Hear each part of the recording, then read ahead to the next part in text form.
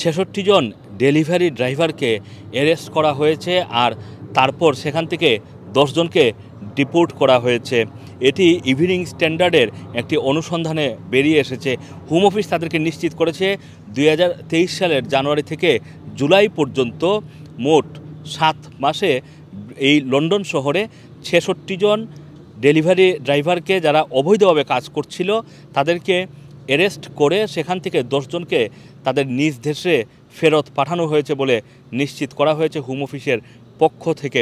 এছাড়া গত এক বছরে তিন হাজার দুইশোটি রেইড পরিচালনা করা হয়েছে শুধুমাত্র অবৈধ কর্মী ধরার জন্য।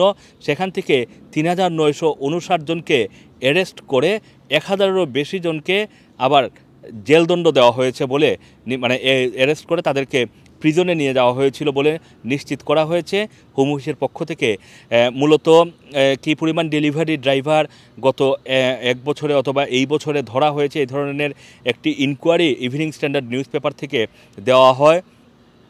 এই হোম অফিসে এবং হোম অফিস সেই যে স্বাধীন তথ্য পাওয়ার যেই ব্যবস্থা সে তার অধীনে তারা এই ইনফরমেশনগুলো জানিয়েছে।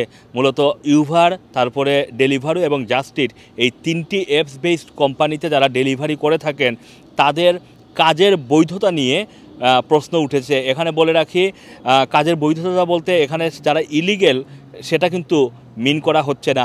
অনেকেই আছেন ব্রিটেনে রয়েছেন, কিন্তু তার হয়তো মানে তিনি হয়তো বেনিফিট নিচ্ছেন, আবার লুকিয়ে কাজ করছেন। এটাকে বলা হয় ইলিগেল ওয়ার্কিং এর পাশাপাশি আরেকটা বিষয় হচ্ছে, অনেক স্টুডেন্ট যারা ডেলিভারি পেশার সাথে যুক্ত রয়েছেন, তাদের কিন্তু এই এই- দেশের যে ডেলিভারি অ্যাপস বেস ডেলিভারি করার যেই ব্যবস্থা রয়েছে, সেখানে কিন্তু কাজ করার, তাদের পারমিশন নেই। কারণ তাদের ওয়ার্কের রাইট আছে ফিক্সড আওয়ার টোয়েন্টি ঘণ্টা মানে বিশ ঘণ্টা কাজ করার সুযোগ রয়েছে। সেই টোয়েন্টি আওয়ার্স কাজটি কিন্তু আবারও বলে রাখি, এটি ফিক্সড আওয়ার মানে আপনাকে কন্ট্রাকচুয়াল জবে থাকতে হবে।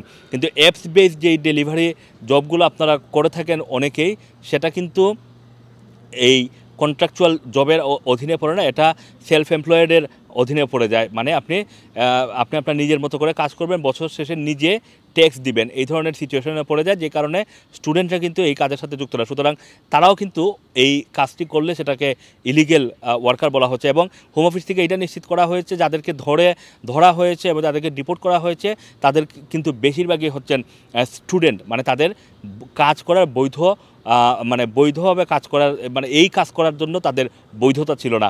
এখানে বলে রাখি যে ব্রিটেন কিন্তু আহ, যেভাবে আগে ইলিগেল মাইগ্রেন্ট ধরার জন্য প্রতিনিয়ত রেড দিত এখন কিন্তু ইলিগ্যাল ওয়ার্কার ধরার জন্য রেড দিচ্ছে। কারণ ব্রিটেনের ব্ল্যাক মার্কেটে কাজ পাওয়া যায় অথবা ক্যাশ ইন হ্যান্ডে জব করা যায়, অথবা নানান ফাঁকফুকর দিয়ে জব করার সুযোগ রয়েছে বেনিফিট নেওয়া যায়, আবার জবও করা যায়, অথবা একেবারে ইলিগেল থাকলেও জব করা যায়। এই যে ধারণাগুলো বা এই বিষয়গুলো পৃথিবীতে বিশ্বের প্রায় সব দেশেই জানে এবং সেই কারণেই বিশ্বের বিভিন্ন দেশ থেকে মানুষ ঝুঁকি নিয়ে ব্রিটেনে আসার জন্য নানান ধরনের ঝুঁকি নেয়। এর মধ্যে সমুদ্রপথে যাত্রা করে ব্রিটেনে ঢুকার চেষ্টা করে, যেটা ব্রিটিশ গভর্নমেন্টের জন্য বা সরকারের জন্য একটি বড় ধরনের হুমকি হয়ে দাঁড়িয়ে, দাঁড়িয়েছে। আর যেই কারণে তারা এখন অবৈধভাবে যারা কাজ করছেন, তাদেরকে ধরার জন্য নানান ধরনের রেড দিচ্ছেন। গতকালকে যেমন স্টার্টফুডে এভাবে কাজের রাইট আছে কিনা, সেটা কিন্তু পরীক্ষা করা হচ্ছিল পুলিশের পক্ষ থেকে। এই ধরনের রেইড এখন কিন্তু যে কোনো সময় যে কোনো জায়গায় দেওয়া হবে। সুতরাং স্টুডেন্ট যারা এসেছেন, অন্যের অ্যাপস ভাড়া নিয়ে আপনারা কাজ করছেন, আপনাদের সতর্ক হওয়ার সময় এসেছে কারণ যে কোনো সময় আপনাকে ধরে আপনার যেহেতু এই কাজটি করার বৈধতা নেই, আপনার ভিসা বাতিল হবে ডিপোর্ট করা হবে আপনার নিজ দেশে। আসম মাসুম রানার টিভি, লন্ডন।